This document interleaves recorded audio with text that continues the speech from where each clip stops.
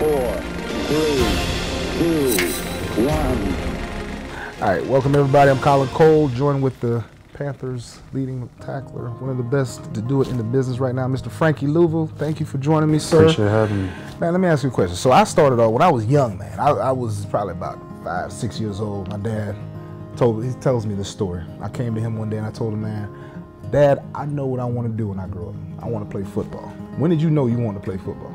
I'll say when I was in eighth grade, I grew up playing soccer my whole life.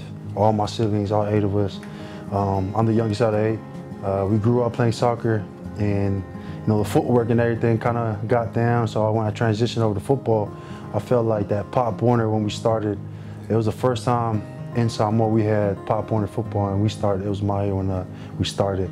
And uh, that was like the starting point of me playing football, man. I was just too big for soccer, kind of bullying people at that point. Um, and then, man, just played yeah football from that on, and man, I just knew like this was for me. But also was a dream for me because it was kind of like a getaway um, off the island to help my family and provide for them. So you came in this league, obviously out of Washington State, leaving American Samoa. Talked about that a little bit, um, but you came in this league undrafted.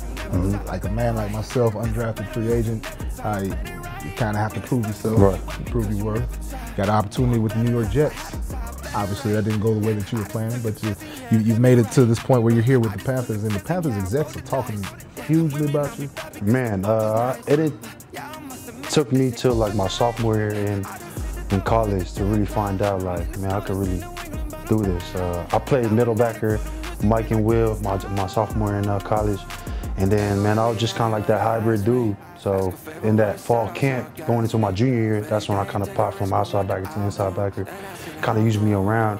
And uh, I found my edge, and I was an edge guy. Um, and I was I was this guy always going forward, you know, love contact, kind of starting the line of scrimmage, you know, um, and then made my transition over to Kevin Greene. I talked about a lot about Kevin Greene as far as like my process in the league, starting in the league, because he gave me the opportunity after 32 teams, you know, after the draft, didn't get a call, but then Kevin Greene gave me a call. A call. So yeah, I went to New York Jets my first year, um, went on this road. I, I don't think a lot of people know about this story, but he kind of, right before training camp, he, he went up on the board, he wrote five names.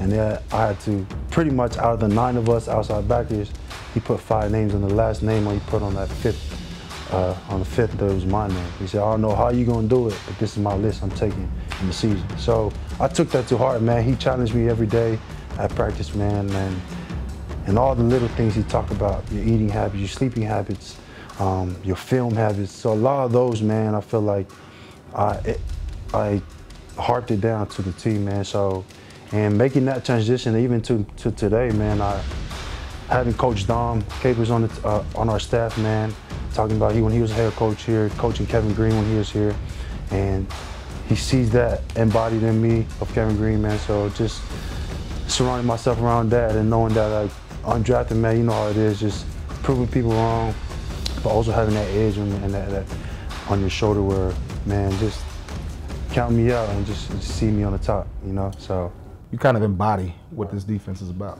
Um, I mean, Coach E, uh, he, he, a DC coach, he, man, he, he does a good job of breaking things down. Um, and the whole staff pretty much breaks it down, man. They keep it simple for us, help us to play fast on Sundays, man. Um, the little details of, of our work, man, that's I feel like that's a huge part of, of what we do.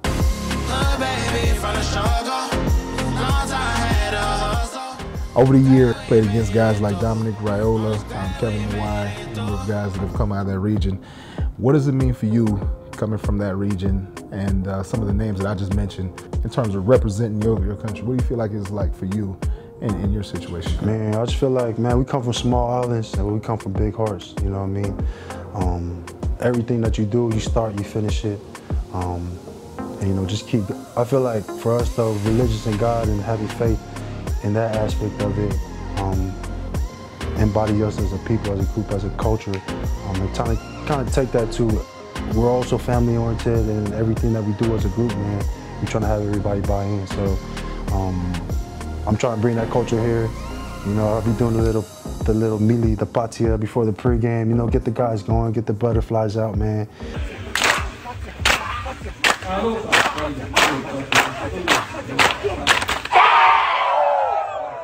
And uh, the guys like it, man. So just embodying some of that culture in, on the team, man, and, and seeing them going out, man. And So you became a full-time starter last season and started 14 games, 111 tackles, and seven sacks. What do you change or refine about your your game as a whole to get to that point where you're now starting? now that I have that that starting role, man, it's just ain't nothing changed. Ain't the plan ain't changed, the script ain't changed for me as well. Just last year was last year for me. This is a new year for me. And as far as my game, what I can improve on, um, just knowing my part, knowing the defense as much as I'm knowing the offense, and that side of the ball can do.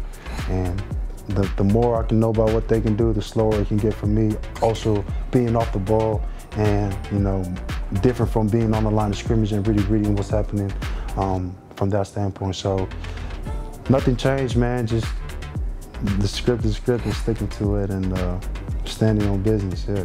Now, speaking of that, you wearing the green dot on your helmet, which means you're getting the play, you're play caller on Yeah. defense. You are the leader Yeah. on the defensive side of the ball. How do you take that role on? How do you feel about uh, coaches trusting you with having that that job? Oh, I take that very highly, man. Um, for, the, for coaches to trust me and having you know me on as a green dot man, I'm, I'm, I'm trying to have all the guys ready, making sure they all lined up. You know, over communicate. Sometimes I forget what I be having on, just trying to line everything up, but that that comes with it. So, you know, having having that um, leadership role, man, is, is, is huge for me, boss. Like I'm blessing. Stop that. Describe the emotion of the mo- of the best moment of your NFL career so far. Um, I say the Arizona game, that pick six. Um, I always say a prayer at the 30 yard line, but when I picked that ball, it was always on that 30 yard line, probably like 32, you know, in that area. So I, picked it, and that week, man, like we were talking about defense, um, scoring, you know what I mean? Like we needed to score on defense, and that was probably like my because it was my first pick six ever, and it was on the 30 yard line, and and all the boys are there, man, and it was a happy moment for me. Like that was the first time ever, so I was, and I got to go back out there right after, so I was a little bit too excited. I was like, all right, gotta get my mind right. I gotta go back out there, but yeah. So you've made a huge impact in your short career so far. What do you want your legacy, the legacy of Frankie Luvu to be said once you, once you hang up your cleats, which 10, 15 years down the line, what do you want people to say about Frankie Luvu? that I was real, that I kept it real with everybody, man. Um, inside the building and off the field, and knowing that I gave everything I got to the game, and I left something behind where I know, man, a legacy behind, knowing that I stayed true to my word, and also like help in any way I can, as much as I can on and off the field. Um, I might, you know, touch one soul, maybe a thousand souls, but at the end of the day, man, uh, leaving this game knowing that uh, I left it all out there. Um, shout out to the Toa Samoa rugby team as they head into their grand final tomorrow. Um, man, all the best. Go with God. Um, the whole island supporting you guys behind your back, win or lose, man. Uh, y'all made us proud. So uh, let's get this win, man. Let's go. I'm originally born in Toronto. My parents and family are from Jamaica, so I understand having to go through the citizenship process, having to, uh, you know, what that's like. So you've recently obtained your citizenship. What's that been like for you? What was that process like for you? Oh man, it was. It took like a whole year, probably a year and a half, trying to get that process, um, and then taking that test. Um, and I'm thinking it was a multiple choice test. That was my first mistake. Um, knowing, finding out it was all orally, oral test. Um, I failed it once, went the second time and got it done. So um, yeah, just for those who want to take that citizenship or who want to take that test, man, it's all oral. Um, and uh, it was a blessing, man, to have my parents, uh, especially the biggest picture of why I did what I did was just having my parents and also sponsoring them to come out here and being in the States, but also watching me play ball. Um, my pops watched me play last year. My mom never seen me play a snap of, of football, like almost six years in the league. um, professionally. So that's a big reason why I did what I did, and also sponsoring them and coming out here, man. And also, you know, while they still living, they can see um, me playing. So yeah. That's beautiful, man. That's beautiful. Well, Frankie, man, I appreciate you. I, I don't have anything else for you, man. And uh, keep pounding. Keep Appreciate pounding. Keep pounding, man. That's Thank right. you for having me. Appreciate right. it. Absolutely.